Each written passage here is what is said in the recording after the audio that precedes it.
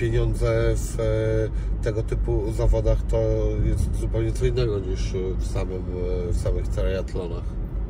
Ja z kontraktów mam więcej niż mam w fejmie, więc e, Tak? No, w ciągu roku, aha, ale co dobra, prawda tu jest, dostajesz no, tak. za 9 minut, nie? No.